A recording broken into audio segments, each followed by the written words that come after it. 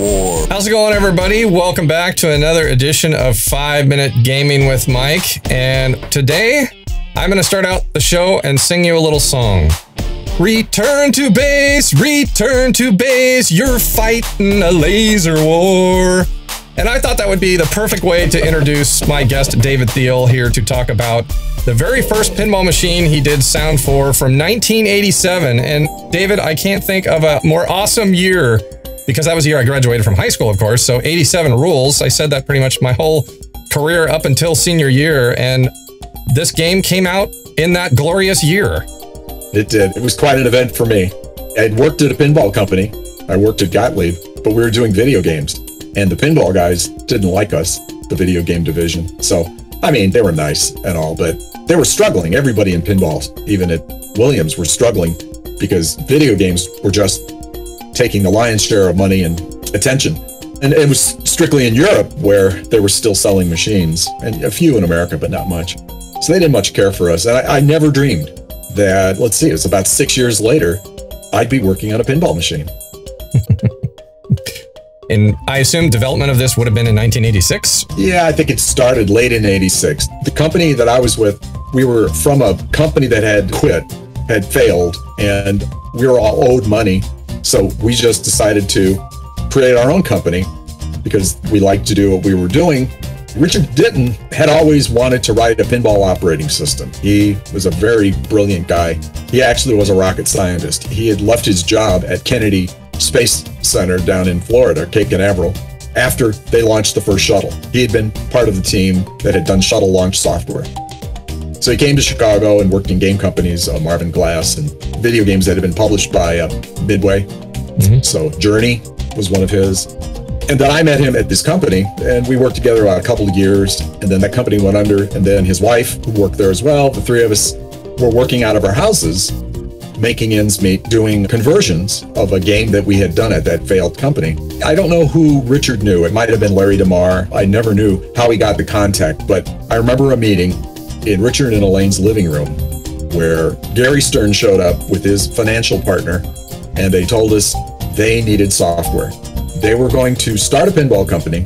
And like his father had done with Bally, so Stern pinballs the, the first time at Bally, when they started that company, they had knocked off the electronics and used that for Stern.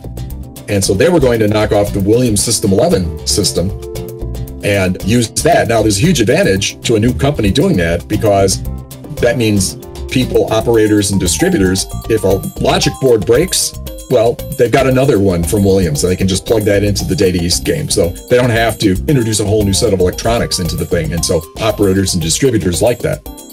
So they were going to do that. Now, the problem is it's legal to copy, work backwards from, hey, we put these parts on a circuit board and it works. However, you need an operating system. You need a lot of software to run a pinball machine, even at this point, And that's copyrighted to death the pinball industry is very litigious as well. So they would have mm-hmm. chased mm-hmm. anybody who attempted to mess with their IP. Somehow we convinced them, oh, we can do it. We've never done any pinball. We know nothing, except we like pinball. So Richard worked backwards from schematics in a white room, created this operating system. And Lonnie Ropp was one of the early employees. And this contract work with Data East was big enough that allowed us to move out of our houses into a 10,000 square foot space in Arlington Heights. So that was it. And Laser War was the first one. Well, and with that, I'm going to bring up the flyer of Laser War I have in between David and I. Data East presents Laser War, and there's some space graphics behind it. There's even a space station, which reminds me of the space station from Star Trek 3, The Search for Spock. Looks just like it. so that is page one of the flyer, and then if you flip it over and get to the back, I'm going to talk a little bit about some of this text information that you see here. This is where, again, these flyers are selling this game to operators, getting them to purchase the game to put it in their arcades. This says it is bullet point number one, the first system specifically designed for digital stereo. And that's history right there, digital stereo. And you can hear that stereo like crazy. And I love it. I love it. And that was you, David, right? I assume you're the yeah. guy who said, all right, we're going to do stereo, guys. Well, the client agreed. It really was a very small dollar increment to do it because even Williams used two speakers in the back box is they used the same chip basically and they wired it for mono. The feeling was, and they were very adamant about mono for a long time because yes, I will admit that a pinball machine is a suboptimal reproducer of spatial audio, left and right cues. The speakers are almost six feet away and they're not that far apart. And so it wouldn't do that with speakers if you were trying to listen to hi-fi and get a nice stereo image. You would place them further away, further apart. But it still works. And the nature of this chip, it was easy. Uh, the easiest thing to do was to pan things far left and far right or center. Mm-hmm. There were only three bits involved. One bit made it left, one bit made it right. You put both bits on, you got it center. And those cues work. So from the very beginning, everything was spatialized. You hit the red targets on the stand-ups, you hear those only out of the left speaker. There is some panning things when you go around on the ramps and stuff where sure. it goes left, center, right. So everything is spatialized to an extreme degree so that the cues work. So you close your eyes and just say, oh, I'm hitting things on the left, I'm hitting things on the right. Well, and we will notice that today drastically. Yeah, you're capturing it. It's wonderful just how you can hear it so cleanly from the left and the right. It also says over 24 watts of bruising power, not just power, bruising power. There's that marketing speak there.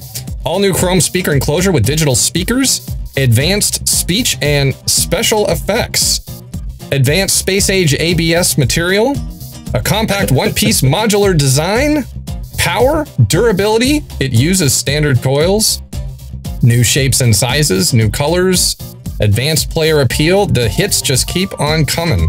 All new most advanced custom software, unique easy to use bookkeeping and adjustments, auto percentaging, blah, blah, blah, blah, blah, all the great things. But here's the best part. A flipper so strong, it could crack walnuts that was their thing, right? Is they spent a bunch of time because they have a fairly steep, short and steep ramp on Laser War, and you need some oomph off the bat to get around that thing. There's 50 volts of oomph to be exact. They spent a bunch of time trying all different kinds of windings and coils and stuff to really have some hot flippers. I suspect, I don't know if they were getting up to what Williams had or they forced Williams to get hotter. I have no idea. Yeah. I was a video game guy. I was new in all this. I know what they were working on, and they spent a lot of time making the flippers really hot. And we might be hearing this pretty soon. Once in a while during a track mode, it plays the very song I sang at the beginning of the show, and I have something to say about that. So when that comes, whatever we're in the middle of talking about, we need to stop because I want to comment on that. But my last question is back in the day in 86, David, and I always look very fondly back at these times because there was no cell phones, no internet. You could finish a thought without being distracted. I mean, you talked on the telephone if you had to call someone. I look fondly at those times and I think about all of you designing this game. And I think one of the great things is, is I think you could all focus. You could all just really make this great and not be interrupted too much. Is that true? It was true, and especially for us because we were a separate company from the manufacturing company. It was more than 20 miles away, Melrose Park. There was a lot of chaos as they were trying to create a pinball company. As the last few years have shown, pinball is not easy. A lot of new companies after Stern have tried to build a line, assemble all the parts, find mm-hmm. people mm-hmm. with skills to put these things together, and some have failed, or some have been incredibly late. It's hard. It's real hard.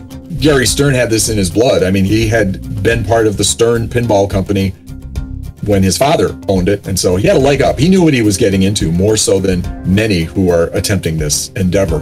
But it's still real hard. And we were separate from that. And it was real good. And, and yeah, we would get the crazy phone calls. and being the new kid on the block, Data East was being driven by a, a sense of, oh, Williams just put out a game and it's doing this and they're giving away 750,000 points. We have to give out a million points. they were very reactive to anything that the uh, competition was doing. And that would then be that phone call because it was already coded. We already had it done.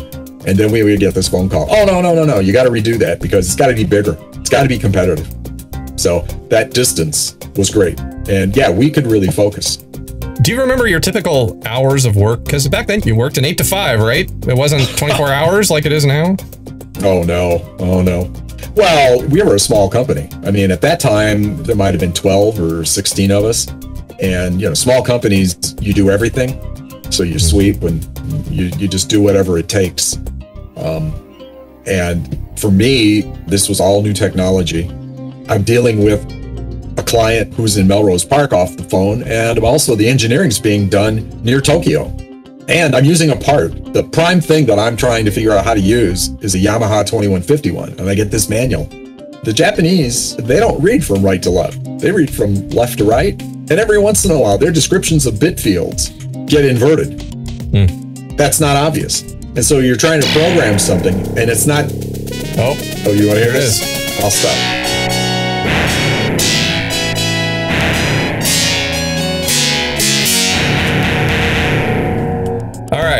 There it is, the famous song that I assume, David, that you penned the lyrics, Oh, yeah. the tune. So I've listened to this song a lot over the week as I've been practicing and preparing for a show. And the one thing about it is I really would love the second line to be a, a rhyme. And so in the spirit of that, I came up with some of my own second lines. So instead of return to base, return to base, I was thinking I want it to be like return to base something. So how about this?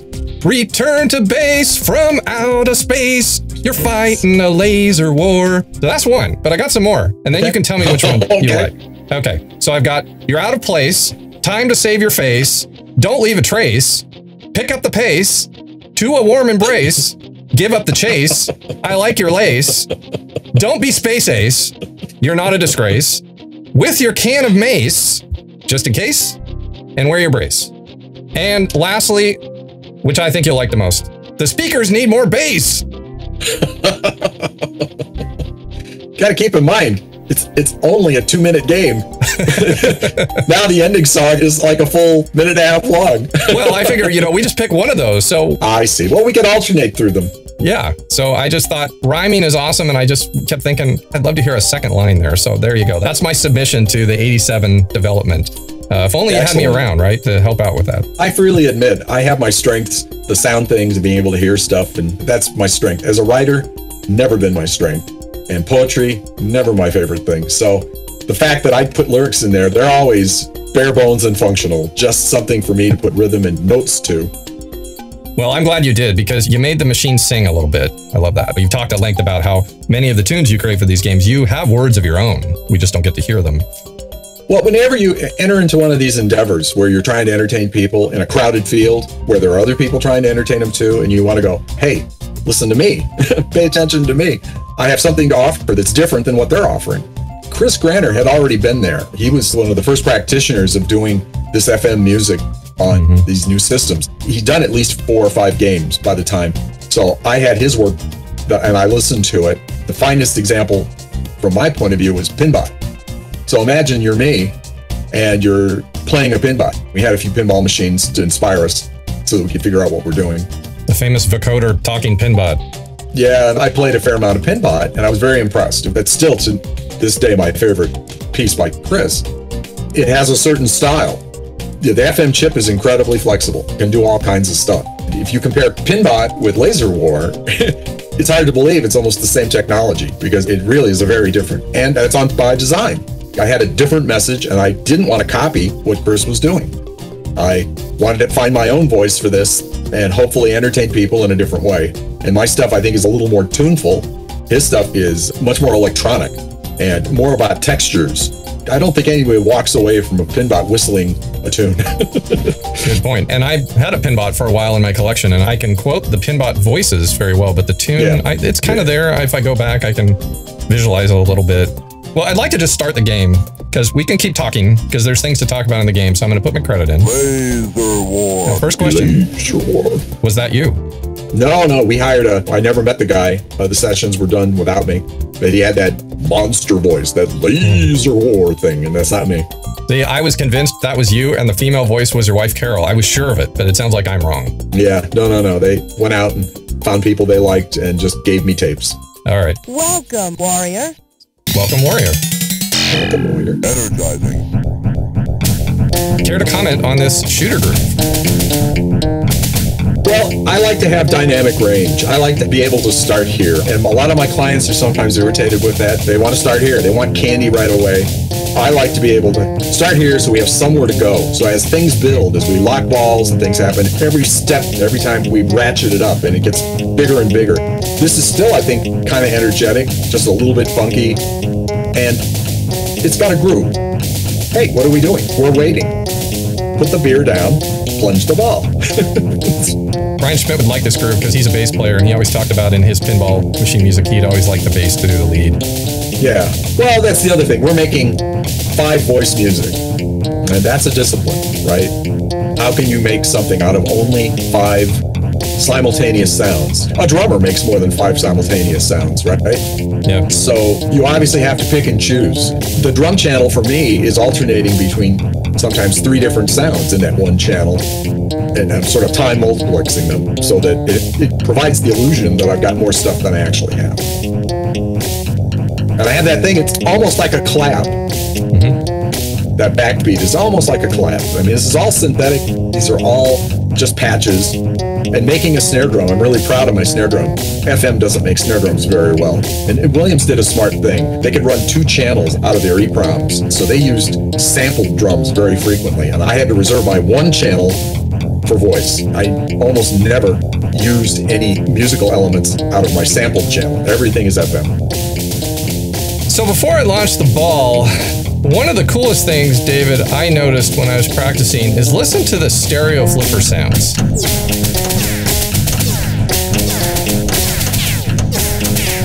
It's like I'm, I'm in a laser battle. That is so cool that you did that. It was just that was part and parcel of everything being spatialized as, as much as I could do. And here we go, and I can see the red and yellow and blue targets, clearly things I have to go for. And boy, I really have to pull this shooter rod back really far.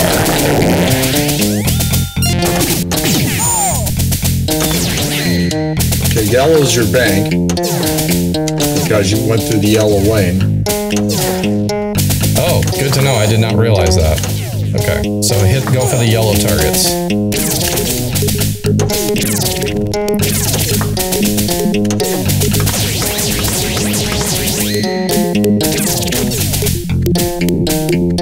And my brain is just saying, well, I gotta hit that big metal ramp up there, that gigantic, cool looking ramp. Eventually, yellow. Base. okay, so you can lock a ball now. See the, the flashing yellow uh, thing on the middle? Uh, Yeah, with the spinner. lane? The spinner. yeah. You make that, that'll lock a ball.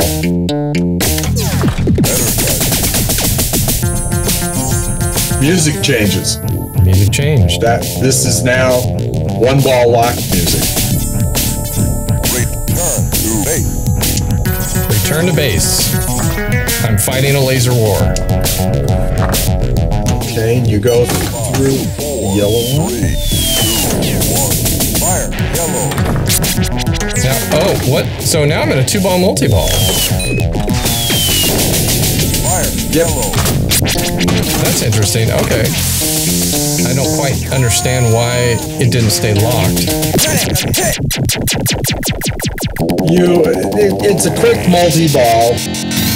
You have you have a, per, a small period of time Okay. that the ball will stay locked before you lock another one. You have no balls locked again. So I'm starting over.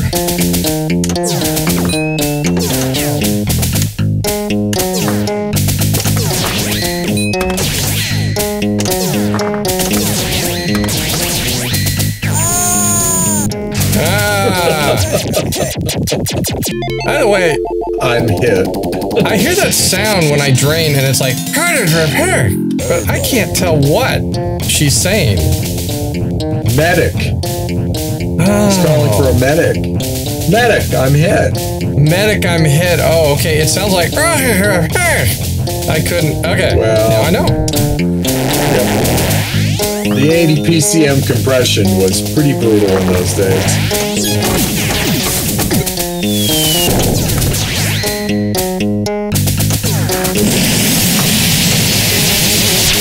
I made the shot, but it wasn't the million dollar shot. It was just the shot. Yeah. It's still rewarding. Well, and when you don't know the rules, you come up to a game like this, you just want to hit that shot. It's just screaming, shoot me. Now I understand. Medic, I'm hit. I can hear it now. I just needed it explained to me. Energizing. I've got to pull back on that shooter rod a lot more than I used to. Oh. No pity ball.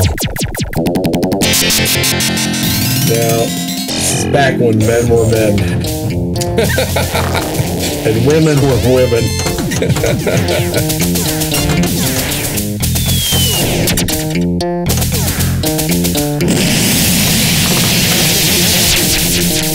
Oh, look at that. Bad bounce. I can't tell you enough how much I love the sounds and music from this game, though. Just, it's so 80s to me. And when I was practicing this week on the game, I just love living in this world again and hearing these sounds and this music. It just brings a smile to my face, and even a small part of my brain thought, I need to find this game and put it in my collection. But then quickly I realized, no, I can't do that. I don't have any room. So, you know somebody who might have one? who's that? Victor. Victor Tan. Oh, Victor Tan. I, I will make sure Victor watches this show. He is a great, great guy. He's helped me with He my is. games, fixing problems. And he really knows circuit boards more than anyone I know. I respect Victor because when he takes his games to the uh, Seattle show, they're- they all have headphone jacks in the front of them. He had a line of like 10 or 12 Bally Williams games, and I could plug into every one of them. And I played them all because I'm very frustrated at shows not being able to hear the games I'm playing.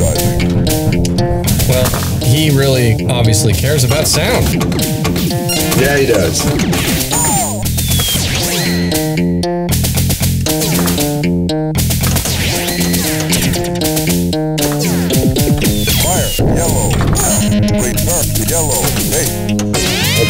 Want to return flashing yellow lane. Can't do much when I drain like that.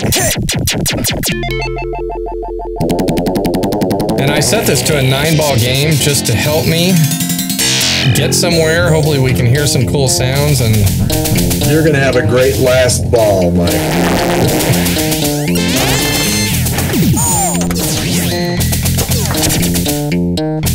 Look at that. I knew not even to flip on that. Or not. Straight down the middle. Straight, as in super straight. And there it is. I'm going to have to play another game, David. I feel like I didn't do anything.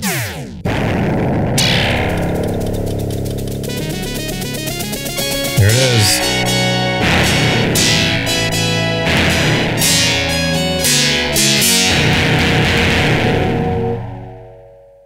I am going to return to base. Welcome, warrior. Leads. Energizing.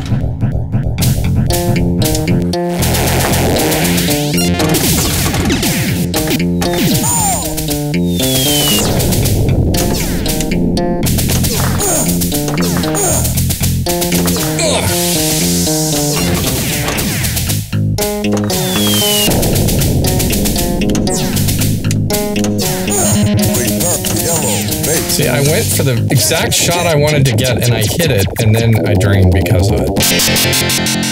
Risk reward.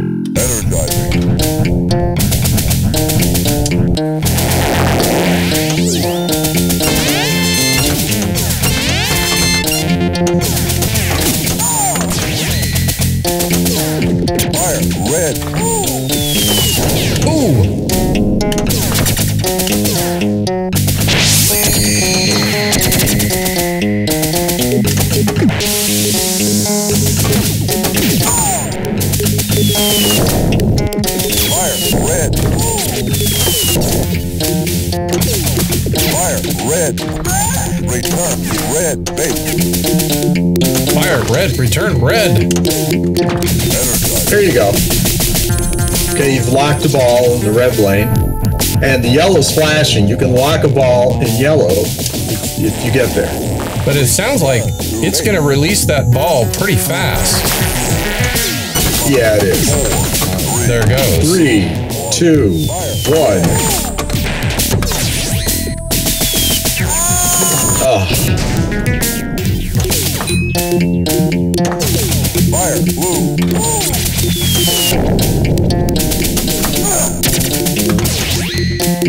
Wrong flip. Oh, Wow. the pinball gods are not working with me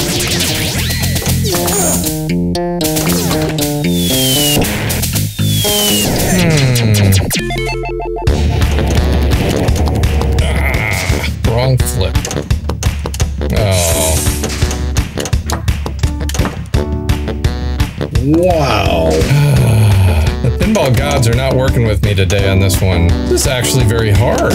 Now I understand what I'm supposed to be doing. Yes. I, the fact that I don't have much time. Yes. Oh, Oh. shot. That I was a made rough- the that shot. was legit. I don't get it. Yeah. yes. Medic, I suck.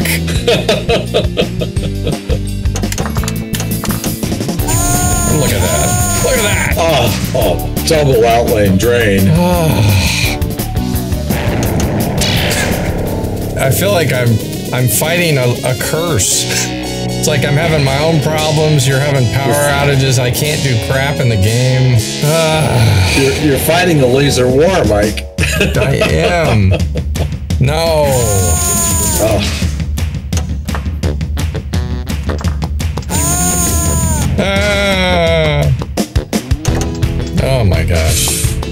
like, ah, I need one of the professional pinball players to come in here and tag team with me. you get Victor. It's like in Wayne's World where they say, Can we get a real actor in here, please? And Charlton Heston steps in.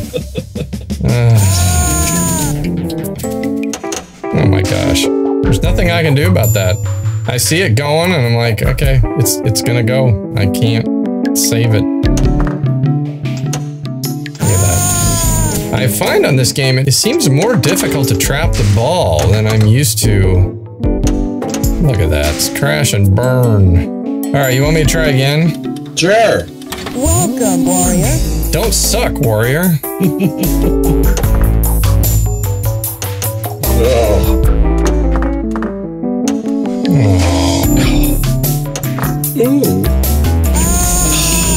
I mean, you're doing well on points. Really? You're almost at a million, yeah. Oh my gosh. Hard day at the office, Mike. This is a hard day. Jeez, I'm just feeling the frustration like that over and over and over.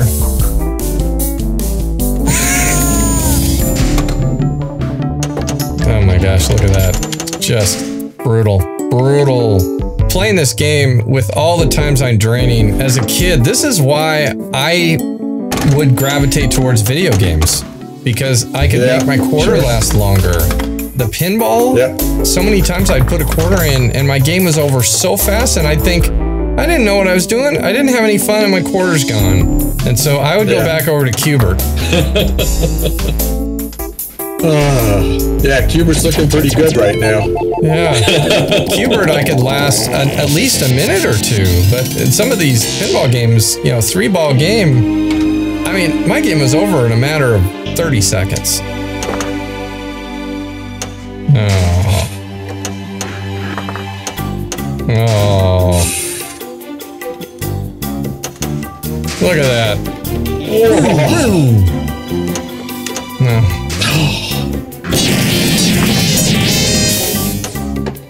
Was new. That was a good thing. Oh, Trying to get passing. trying to pass it. Blast again. It's all falling apart, David. It all came crashing Yes. down on me. You were so close. You win.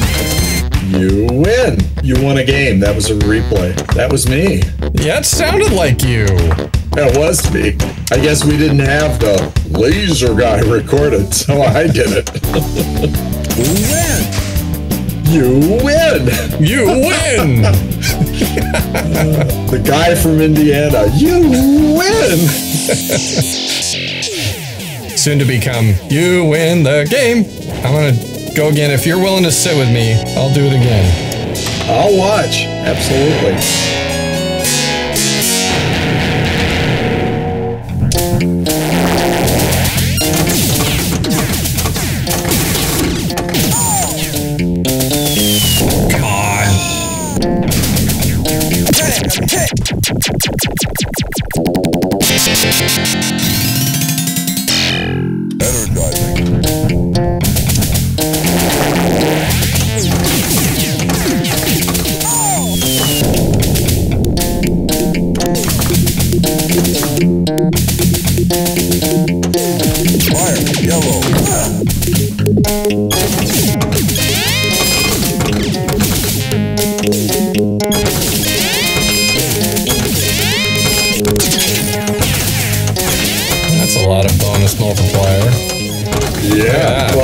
maxed. You're maxed at 5x.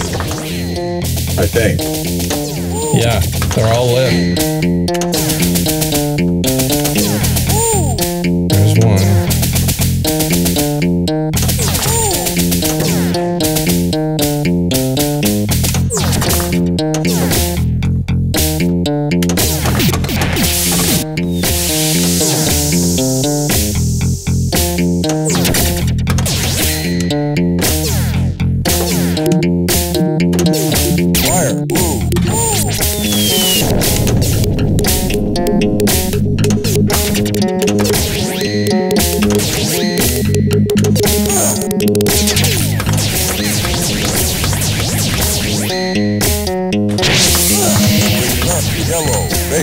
Fire. Blue. Return. Blue. Bait. Okay. Red. Return. Red. Bait. So, what, what's our status here? Okay, s- I'm, oh, they're all lit. They're all All lit. three. Okay. Make make the make the big ramp shot. I think. Okay.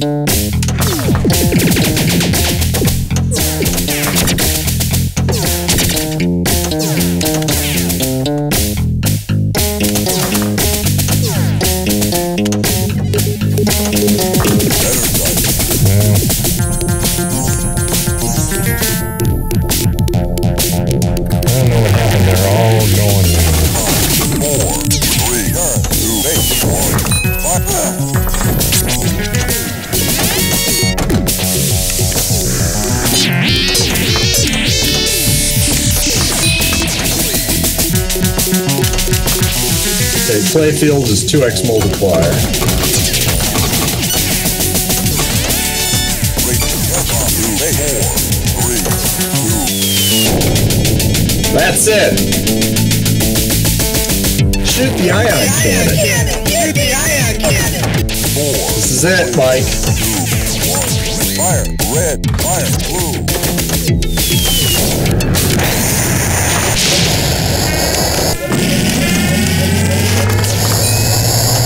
Okay, just just cup that ball. Try try to keep that ball in play.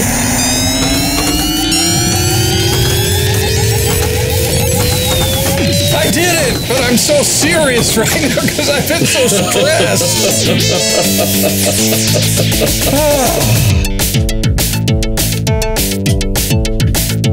And this is the uh,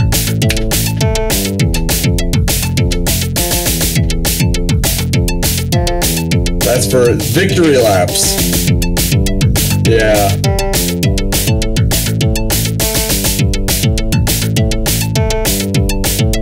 So I did it. That was You it. did. That was it. You can throw the game away now.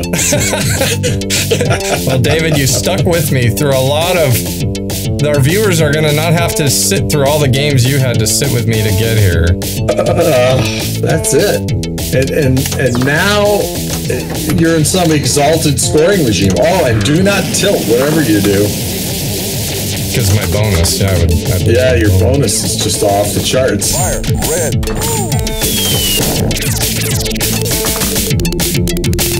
Plus, you you've won an extra ball.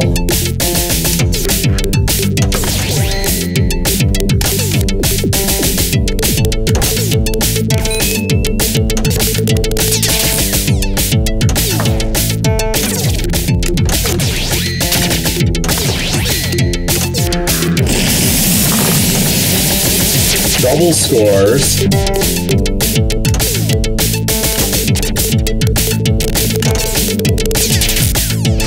Here we go.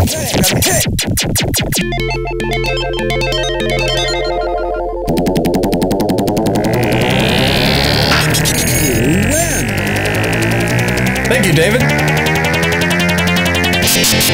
Blast again. A gnarly bonus sequence. That was good.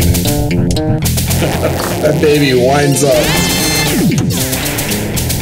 Anything else you'd like to say about this game after having watched me play many, many balls? I'm, I'm ready to return to base.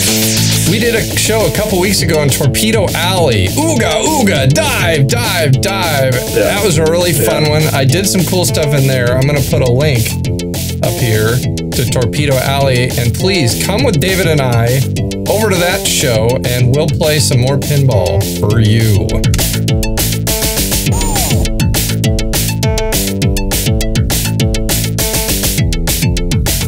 Ah, that's a good shot.